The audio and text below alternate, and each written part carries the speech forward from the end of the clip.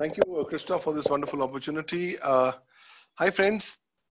I'm going to share with you certain slides as to have a thought process on what exactly I believe are the ways going forward and what we need to keep in mind in terms of our learnings from the uh, pandemic per se. See, this pandemic is growing with each passing day, and you still don't have much clarity on how things are going to effectively work. To give you an example, in Delhi today, the government has virtually opened up the entire capital once again. At a time when the infections in India have grown more than 100,000, the uh, state government decides to open up with very minor uh, restrictions, which only goes to show that is it going to be ethical for countries to start opening up once there is already uh, impending danger of infections.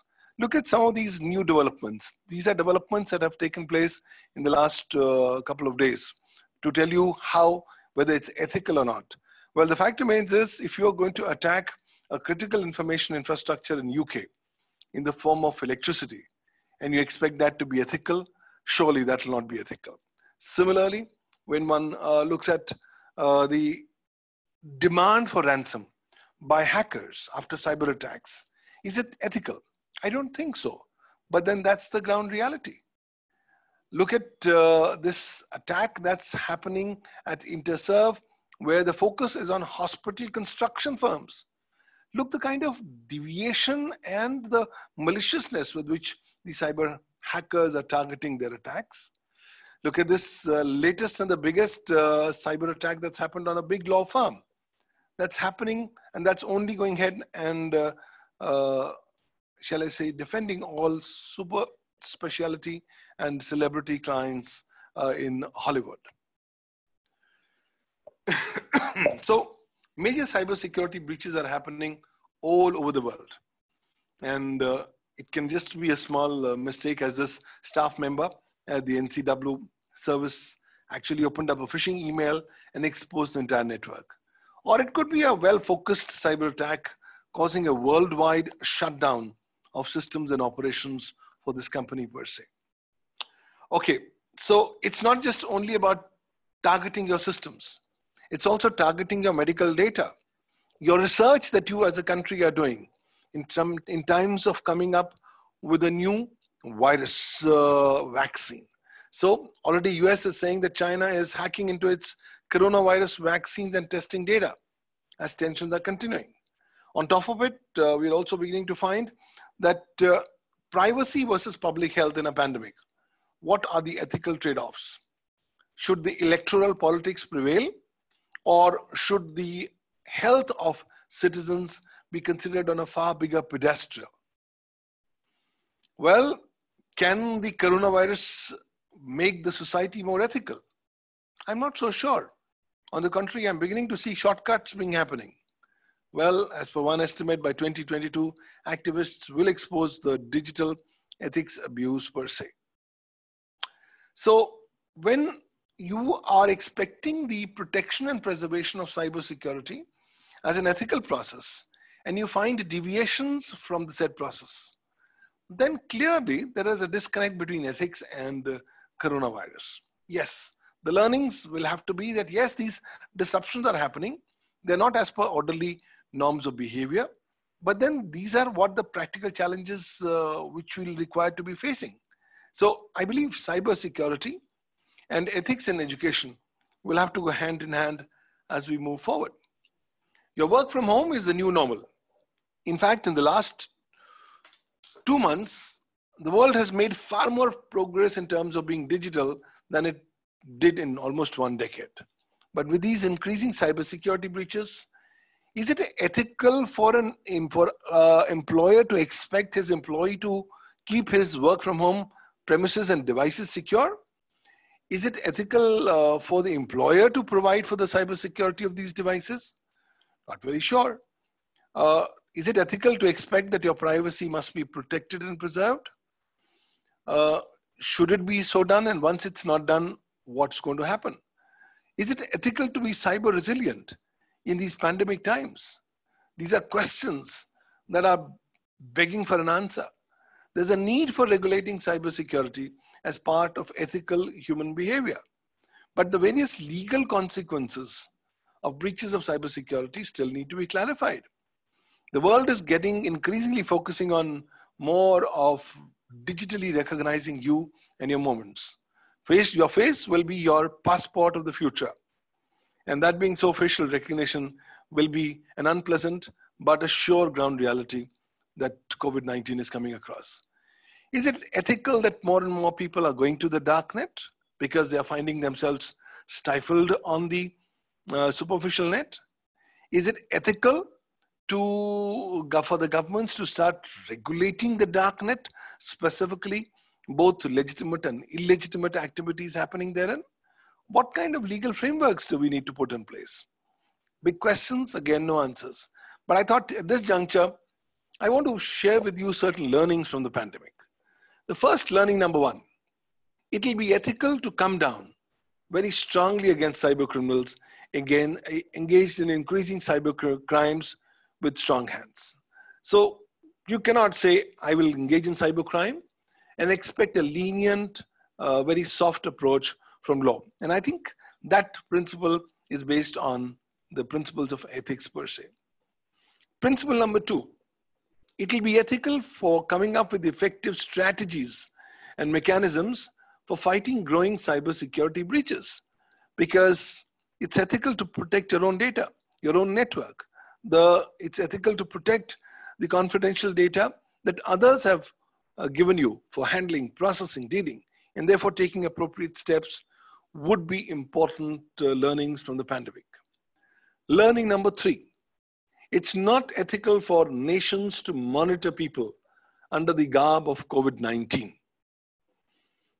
Yes, COVID-19 is providing a fascinating and very fertile ground for countries to start uh, constantly monitoring people under the garb of these COVID 19 apps, monitoring their movements, putting them in fear, panic, and uh, increasing their powers.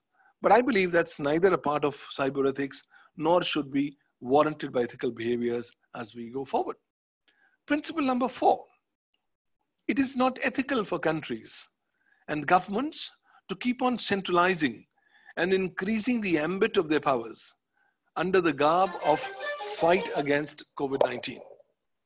I think it will also not be ethical to increasingly start usurping increasing power under the garb of fight against COVID-19. And COVID-19 should not be an excuse for moving towards an authoritarian regime.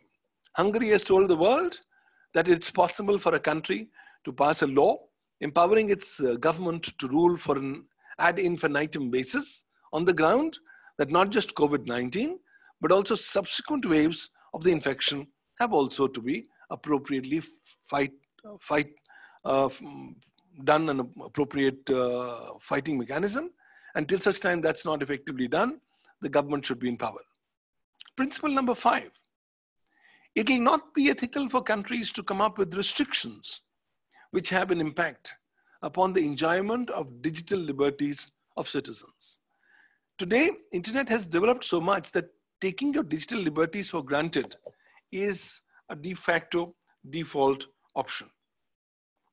So in a scenario like this, I believe countries must respect the enjoyment of digital liberties of their netizens.